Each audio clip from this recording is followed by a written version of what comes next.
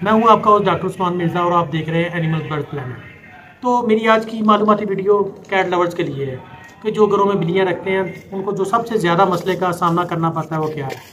जैसा कि आपके पास, आप देख रहे हैं कि मेरे पास बिल्लियाँ हैं तो इनमें सबसे ज़्यादा प्रॉब्लम क्या है? क्योंकि मैंने अभी उन्हें एक दो मिनट के लिए इनको पकड़ा है तो मेरे सारे कपड़ों पर उनके हेयर लग चुके हैं।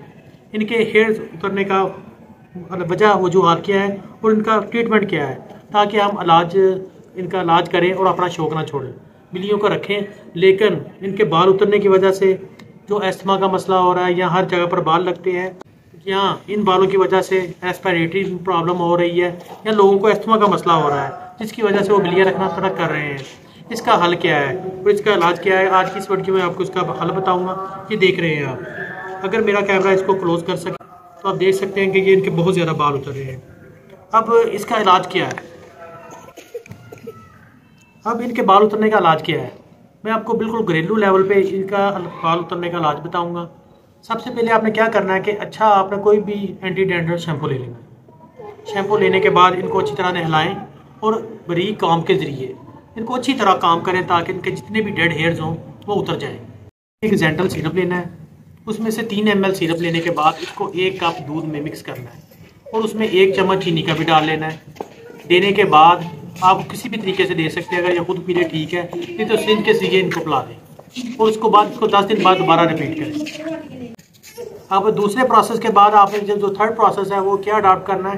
कि आपने कोई सा भी ह्यूमन साइड का मल्टीविटामिन सिरप ले लेना है। लाइजोवेट हो गया मल्टीवेट हो गया, और कोई भी किसी किस्म का अच्छी क्वालिटी का मल्टीविटामिन सिरप ले लें।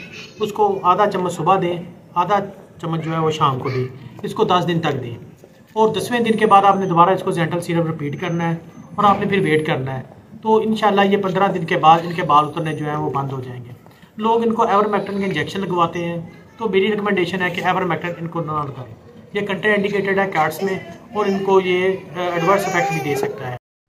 अगर दस दिन बाद फिर भी इनके बाल जो है उतरने बंद नहीं हो रहे तो आप सबसे पहले इनको चेक कर लें कि इनको कोई फंगल इन्फेक्शन तो नहीं है या स्किन एलर्जी वगैरह तो नहीं है, कोई प्रॉब्लम तो नहीं है। अगर प्रॉब्लम वगैरह नहीं है तो इससे जो मैंने आज आपको बताया है इससे पंद्रह दिन के बाद इनके बाल गिरने बंद हो जाएँगे। और जो आप इसको अच्छे तरीके से घर में रख सकते हैं। ये जो प्रॉब्लम है, बाल उतरने का हेयर उतरने का, ये ख़त्म हो जाएगा। आप जैसे ये स्कैट को देख सकते हैं। इस कैट में बहुत ज़्यादा इशू है। इसकी बहुत ज़्यादा फार उतर रही है। इसके हेयर से हर जगह पे जो है, वो हेयर जो है, वो अटैच हो रहे हैं। इसलिए हम इसकी अब यही इलाज इसका करेंगे, उसके बाद आपको दिखाएँगे कि 10-15 दिन बाद इसका क्या सूरत होती है और क्या मामला होता है।